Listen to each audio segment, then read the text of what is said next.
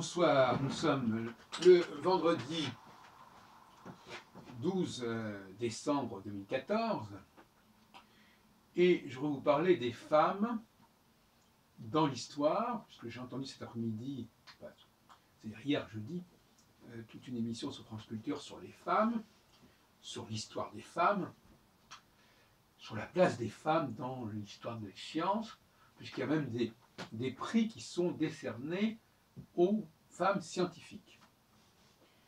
Et euh, je crois que c'est Lalande qui, à la fin du XVIIIe siècle, faisait déjà un peu une histoire, un historique des femmes savantes, si on peut dire. Alors, il faudrait quand même faire quelques mises au point à ce sujet. Il est clair que rien n'empêche en aucune façon les femmes d'être des collaboratrices avisées de leur mari. Et un grand nombre de cas qui sont cités dans cette émission sont des femmes de savants. Je ne me souviens plus très bien, il faut qu'il y ait la femme de Lavoisier, enfin, il y a eu des tas de, femmes qui ont contribué, qui ont été formées par leur mari, ou qui ont collaboré avec leur mari ou avec leur père, peu importe, ou même avec leur frère.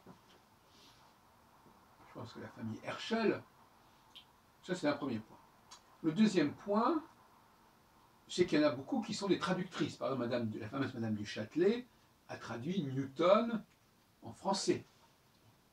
Une traductrice est une traductrice. Pourquoi n'y aurait-il pas des femmes traductrices? Il y en a aussi qui ont euh, réalisé des tables, des tables astronomiques. Pourquoi pas? C'est un travail euh, considérable, mais qui est assez mécanique, il faut dire les choses comme elles sont. Euh, donc finalement, ce bilan, il n'est pas, il pas, il pas extraordinaire. Euh, je ne vois pas pourquoi on s'extasierait sur ce bilan. Des femmes qui ont contribué à un certain niveau à, à l'avancée des sciences, pourquoi pas? À un niveau qui, à mon avis, est quand même ancillaire, qui est quand même un niveau assez secondaire et marginal.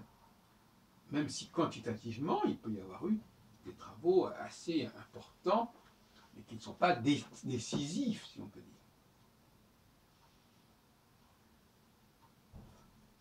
Un autre point que je voudrais signaler, qui, où j'enfonce peut-être des portes ouvertes, mais je voudrais quand même rappeler à nos auditeurs certaines vérités quand on entend quelqu'un parler, est-ce qu'on sait quelle est la valeur de ce qu'il dit? Est-ce qu'on sait même si ce qu'il dit, c'est lui qui le dit?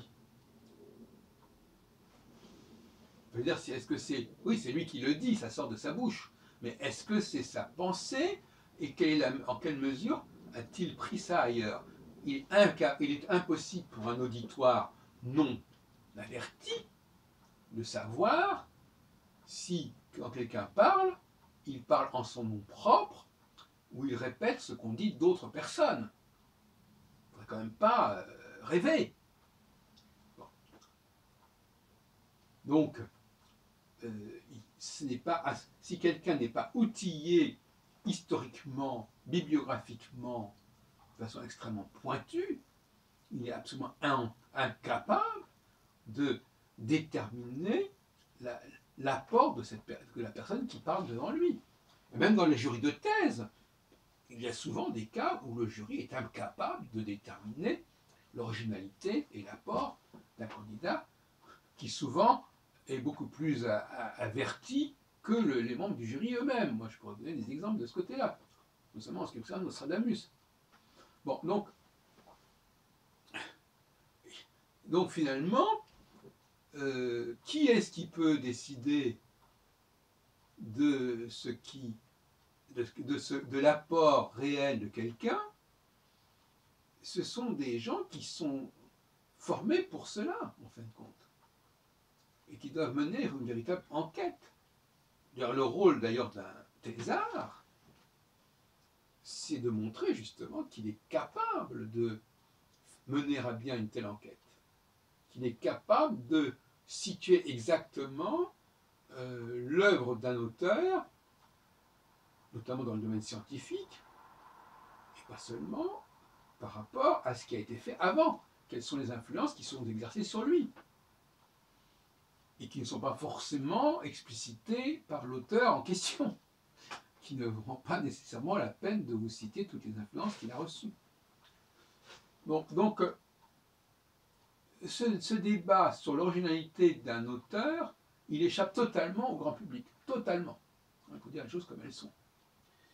Et évidemment, le public peut, se, peut être berné, peut être leurré.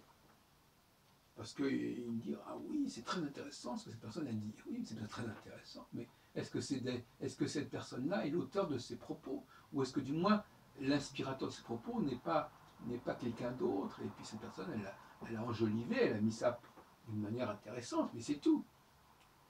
Et c'est là, malheureusement, que les gens, euh, bah oui, ils ne sont pas très heureux quand on leur dit ça.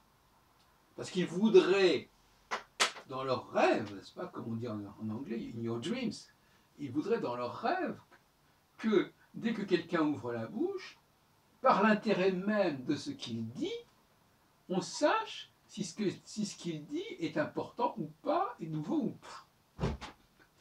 C'est comme un autre débat que j'avais eu.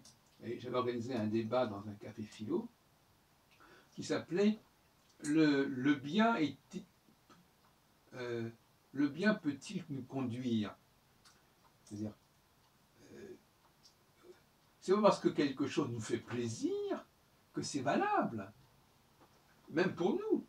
Quand, quand, par exemple nous mangeons quelque chose qui est, qui est bon à manger, qui est bon au goût, c'est pas forcément bon pour notre santé. C'est pas parce que, je veux dire, comme les addictions, les addictions peuvent nous faire apporter du plaisir. Donc, voyez-vous, évidemment, les gens qui croient que euh, du moment que ça nous fait du bien, du moment que c'est agréable à entendre, du moment que c'est intéressant, ils croient, ils croient qu'ils savent de quoi il s'agit. Mais c'est, ils sont complètement à côté de la plaque. Pas, ça ne se passe pas comme ça. Il faut laisser le temps au temps. Parce que c'est ça finalement le, le facteur. Vous mangez quelque chose, au bout de combien de temps, au bout de quelques jours, vous allez voir si ça vous réussit. Vous avez l'habitude de manger quelque chose, plusieurs régulièrement, vous verrez ce que ça donne au bout de quelques mois, par exemple. Et puis quand quelqu'un dit quelque chose, bah, vous verrez si, euh, au bout d'un certain temps, au bout de quelques années peut-être, vous verrez si ce que dit cette personne euh, est a vraiment de l'importance, si il n'y a pas X personnes qui disent la même chose que cette personne-là, c'est ça aussi qui nous échappe, vous, chers amis. Vous entendez quelqu'un dire quelque chose, vous dites, ah, c'est passionnant. et puis après, vous regardez un peu sur Internet, vous écoutez gens, vous vous dites qu'il y a des tas de gens qui ont dit la même chose. Ah, ah bon? Alors si, beaucoup de gens ont dit la même chose, ça, ça, ça, ça discrédite complètement la valeur de la personne en question. Elle n'aura fait que répéter des choses qui ont déjà été dites ou qui sont dites en même temps. Voilà. Il faut donner du temps. Le temps, il faut prendre le temps de comparer, de vérifier. Sinon, on, on prend des vessies pour des lanternes.